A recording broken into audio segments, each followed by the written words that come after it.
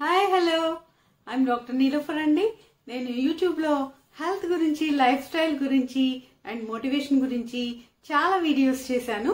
ఇంతకుముందు మీరు నా వీడియోస్ చూడకపోతే వెంటనే చూడండి అండ్ లైక్ చేసి ఖచ్చితంగా సబ్స్క్రైబ్ చేసుకోండి.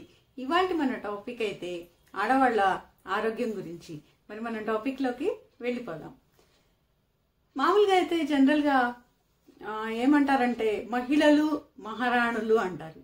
కానీ ఇలాగ అనటం ఏంటంటే ఉత్తుత్తిని అనమాట మహిళలు ఎప్పుడు చాలా మంది మహారాణుల్లాగా బతికేవాళ్ళు చాలా తక్కువ మంది ఉంటారు. ఎక్కువ శాతం మహిళలు ఏంటంటే ఎప్పుడు ఒక చీమ కన్నా ఎక్కువగా శ్రమతో జీవిస్తూ ఉంటారు అనమాట ఎక్కువ శ్రమ చేస్తూ ఉంటారు. వీళ్ళు అహర్నిశలు కూడా కుటుంబం గురించి పిల్లల గురించి భర్త గురించి అవిశ్రామంగా కృషి చేస్తూ ఉంటారు. మరి కుటుంబంలో ఎవరికి ఏం కావాలి అన్నది ఆడవాళ్ళకి తెలిసినంతగా ఇంకెవరికి కూడా కుటుంబంలో తెలియదు ఎప్పుడు కూడా కుటుంబం గురించే వాళ్ళు ఆలోచిస్తూ శారీరకంగానే కాకుండా మానసికంగా కూడా ఎప్పుడు ఎలాగా కుటుంబాన్ని బెటర్గా చేయాలి అనేది ఆలోచిస్తూ ఉంటారు. ఇక వర్కింగ్ ఉమెన్ అయితే ఇంకా వాళ్ళు అటు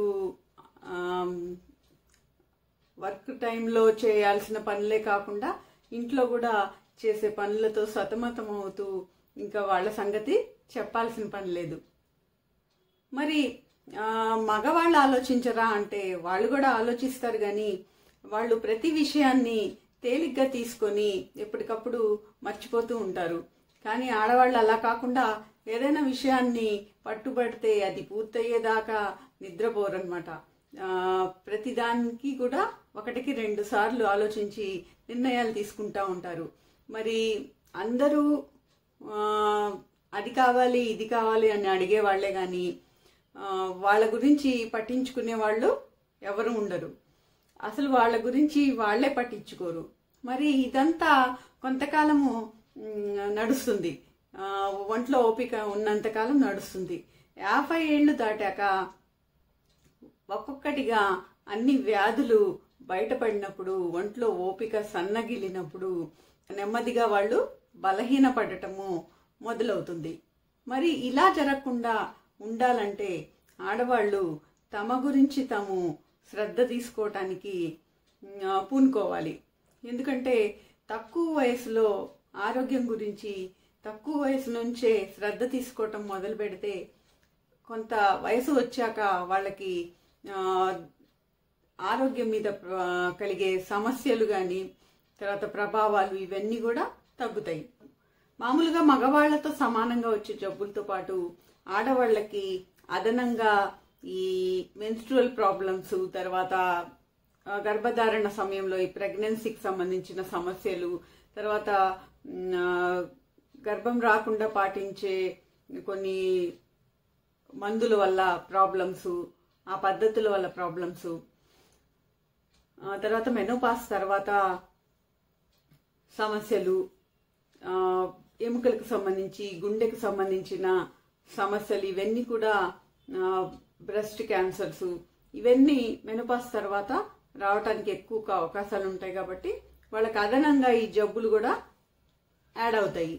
మరి వీళ్ళు ఇలాంటివన్నీ రాకుండా ఉండాలంటే తక్కువ వయసు నుండే వాళ్ళ ఆరోగ్యం పట్ల శ్రద్ధ తీసుకోవాలి. మరి వీటికి సంబంధించి ఏమేం చేయాలనేది ఇప్పుడు మనం తెలుసుకుందాము.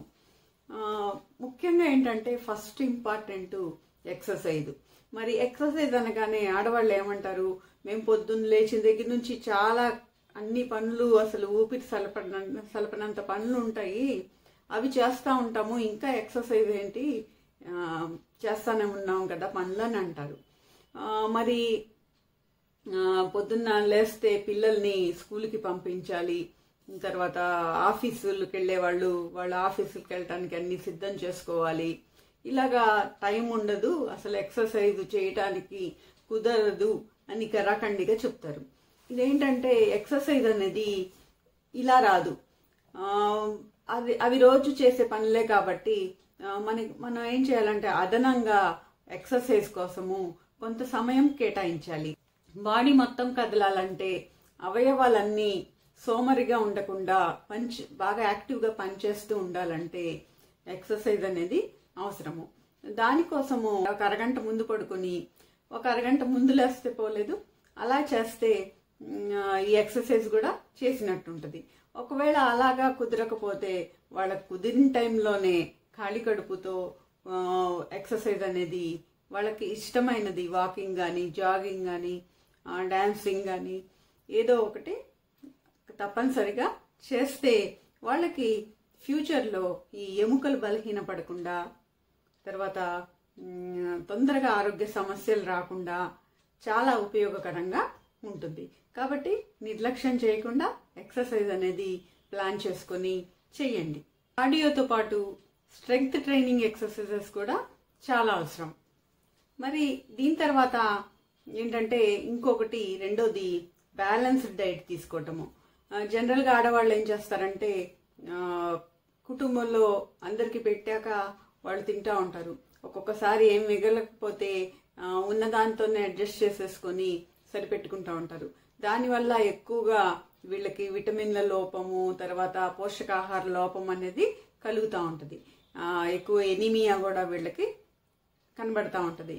మరి అలా చేయకుండా వాళ్ళు కరెక్ట్గా ప్లాన్ చేసుకొని కుటుంబంలో ఎంతమందికి ఎంత అవసరం అనేది కరెక్ట్గా బేరీజ్ వేసుకొని వాళ్ళకు కూడా సరిపడేటట్లు వండుకుంటే ఇలాంటి ప్రాబ్లమ్స్ రాకుండా ఉంటాయి. అంతేకాకుండా వాళ్ళు ఎక్కువగా ఫ్రూట్స్ ఫ్రెష్ వెజిటబుల్స్ తర్వాత గింజ ధాన్యాలు పీచు పదార్థం ఎక్కువగా ఉండే పదార్థాలు ప్రోటీన్స్ ఎక్కువగా ఉండే చికెను మాంసము చేపలు ఇలాంటివి ఎగ్స్ తర్వాత పాలు ఇలాంటివన్నీ కూడా బాగా బ్యాలెన్స్డ్గా తీసుకుంటా ఉండాలి. అంతేకాకుండా ఈ ఫ్రైస్ అనేవి తర్వాత ప్రాసెస్డ్ ఫుడ్స్ ఇవి చాలా లిమిటెడ్గా తక్కువ వయసు నుంచి వీటిని లిమిట్ చేసుకోవాలి. బరువు ఎక్కువగా ఉంటే కనుక వాళ్ళు బరువు తగ్గడానికి కూడా ప్రయత్నించాలి. మరి బరువు తగ్గడానికి వాళ్ళు చాలా కష్టపడి ఏదేదో చేయని అవసరం లేదు. వాళ్ళు ఏంటంటే ఇలాగ ఫ్రైస్ తర్వాత ఈ ప్రాసెస్డ్ ఫుడ్స్ ఇలాంటివి మానేసి ఎక్కువ పని చేసి తక్కువ తింటే కనుక అలాంటి బరువు ఎక్కువగా ఉన్న వాళ్ళకి ఈ సమస్య నుంచి కూడా పరిష్కారం దొరుకుతుంది. బరువు తగ్గటం వల్ల హార్ట్ ప్రాబ్లమ్స్ డయాబెటీస్ క్యాన్సర్స్ ఇలాంటి వచ్చే రిస్క్ కూడా తగ్గుతుంది. మీకు ఒక విషయం తెలుసా? మామూలుగా ప్రతి సంవత్సరం కూడా అందరికీ వాళ్ళకున్న వాళ్ళకున్న షుగర్ లెవెల్స్ కంటే ఒక ఒకటి నుంచి పది వరకు షుగరు ప్రతి సంవత్సరం పెరిగే అవకాశం ఉంటుంది మామూలు వాళ్ళకు కూడా. మరి ఆ రిస్క్ ఈ బరువు ఒక కేజీ తగ్గితే గనక కొంతవరకు ప్రతి సంవత్సరం తగ్గుతూ ఉంటుంది. మరి అలా అంటే పెరిగే రిస్క్ని మనం తగ్గించవచ్చు తర్వాత ఎక్కువగా కలర్ఫుల్గా ఉండే ఈ పండ్లు కూరగాయలు తీసుకోవటం వల్ల వాళ్ళకి విటమిన్స్ మినరల్స్ తర్వాత యాంటీ ఆక్సిడెంట్స్ అనేవి శరీరానికి సమృద్ధిగా దొరికి తర్వాత యంగ్గా కనపడటానికి దోహదపడతాయి. అంతేకాకుండా ఈ సన్ స్క్రీన్ని కూడా వాళ్ళు ఉపయోగించాలి ఎండలోకి వెళ్ళినప్పుడు. దానివల్ల వాళ్ళ స్కిన్ మీద ముడతలు తర్వాత ఈ ఏజ్ స్పాట్స్ తర్వాత పిగ్మెంటేషన్ ఇలాంటివి లేకుండా కూడా వాళ్ళని ఈ సన్ స్క్రీన్ రాయటం వల్ల కాపాడుతుంది. మరి ఇంకా మూడోది వచ్చేటప్పటికి వాళ్ళు తక్కువ వయసులో ఉన్నప్పుడు ఎస్టిడి వ్యాధులు రాకుండా ఎటువైపు నుంచి కూడా రాకుండా శ్రద్ధ తీసుకోవాలి. అంతేకాకుండా వాళ్ళ సెక్స్ లైఫ్ని ఆరోగ్యంగా ఉండేటట్లు చూసుకోవాలి. దానివల్ల కూడా హార్ట్ అటాక్స్ బీపీ ఇలాంటి సమస్యలు రాకుండా ఉంటాయి. ఆడవాళ్ళు రెగ్యులర్గా స్క్రీనింగ్ టెస్టులు కూడా చేయించుకుంటూ ఉండాలి. ప్యాప్స్మియర్ అనేది రెగ్యులర్గా చేయించుకోవాలి.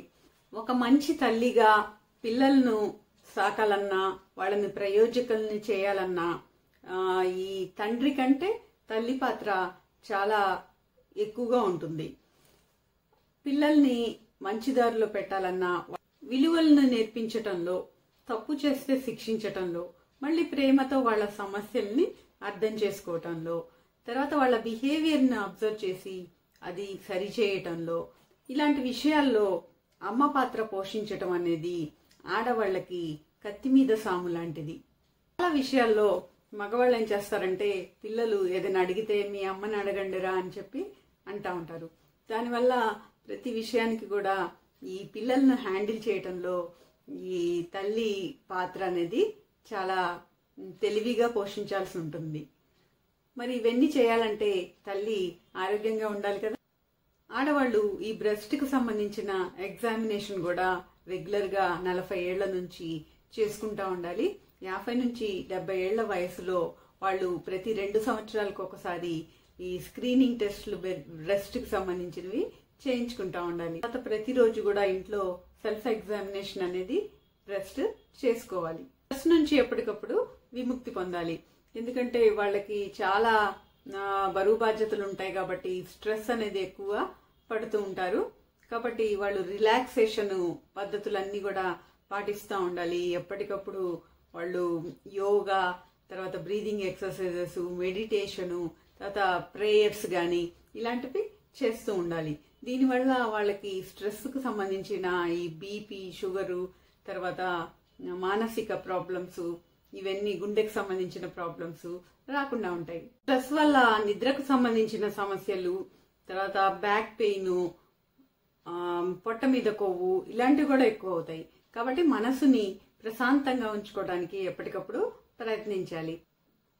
హార్ట్ అటాక్స్ స్ట్రోక్స్ కూడా మగవాళ్ళ కంటే ఆడవాళ్ళకి యాభై ఏళ్ళ తర్వాత ఎక్కువగా రావడానికి అవకాశం ఉంటుంది కాబట్టి వాటి గురించి కూడా శ్రద్ధ తీసుకొని ఎప్పటికప్పుడు కొలెస్ట్రాల్ అవి కంట్రోల్లో పెట్టుకోవాలి బీపీ కంట్రోల్లో పెట్టుకోవాలి. తర్వాత యూటీఐ తర్వాత యూరినరీ ఇన్కాంటినెన్స్ కూడా ఆడవాళ్ళలో ఎక్కువగా వస్తుంది కాబట్టి దానికి సంబంధించి కూడా శ్రద్ధ తీసుకోవాలి నీళ్ళు ఎక్కువగా తాగాలి. తర్వాత పెల్విక్ ఎక్సర్సైజెస్ ఉంటాయి.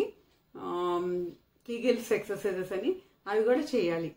కీళ్ళ నొప్పులు పంటికి సంబంధించిన ప్రాబ్లమ్స్ ఇలాంటివన్నిటి గురించి కూడా శ్రద్ధ తీసుకోవాలి. ఒక- ఒక మాటలో చెప్పాలంటే అన్ని బాధ్యతలతో పాటు ఆడవాళ్ళు తమ బాధ్యతను కూడా ఒక అది కూడా ఒక పనిలాగా తీసుకొని వీటన్నిటిని గురించి శ్రద్ధ తీసుకుంటే వాళ్ళు ఆరోగ్యంగా ఉండగలరు.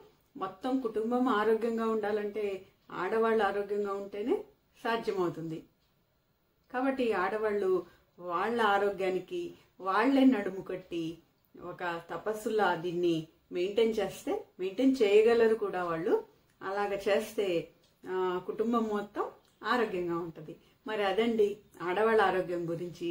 మరి మీకు ఈ టాపిక్ నచ్చితే వెంటనే లైక్ చేసి షేర్ చేయండి. ఏమైనా డౌట్స్ ఉంటే కామెంట్ రూపంలో తెలియజేయండి. అండ్ సబ్స్క్రైబ్ చేసుకుని నోటిఫికేషన్ ఆన్ చేసుకుంటే ఇలాంటి మరిన్ని మంచి వీడియోస్ మీరు చూడగలుగుతారు.